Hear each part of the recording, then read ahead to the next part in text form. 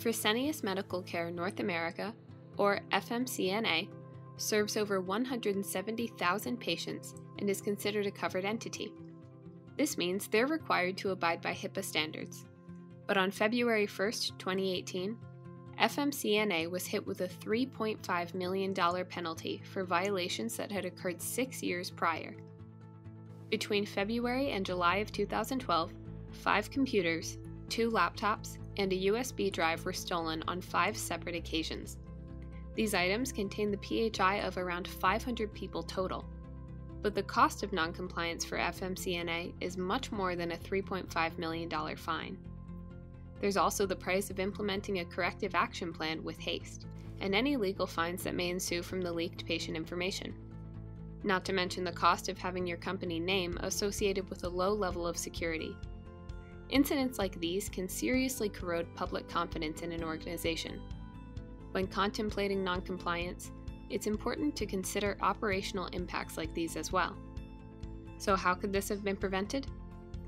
By just conducting a detailed risk assessment and restricting access to private information, many of these incidents could have been averted.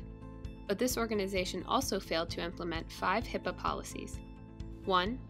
Requiring proper documentation for the movement of items in and out of facilities. 2. Prevention of tampering or theft. 3. Restricting who has access to PHI at their workstation.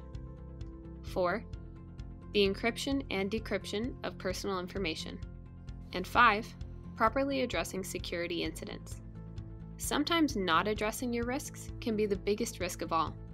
When monetary penalties are calculated, it's not just the effects of the breach taken into consideration, but it's also about how quickly response steps were taken, as well as the level of compliance efforts.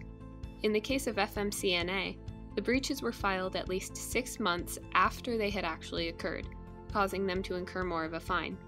So now, with a hefty fine on their shoulders, what corrective action plan is in order? The organization will be required to first conduct a detailed risk assessment. Second, implement risk management. Third, regularly evaluate for operational changes. Fourth, develop a process for an encryption report. Fifth, revise policies on media control as well as facility access control. And finally, develop an enhanced and regular training program. Roger Severino, the director of OCR, once stated there is no substitute for an enterprise wide risk analysis for a covered entity. And that's true. Conducting a detailed and regular risk analysis is the most effective way to identify the strengths, weaknesses, opportunities, and vulnerabilities of your organization but conducting such an assessment is not the easiest task to complete alone. So let us simplify this process.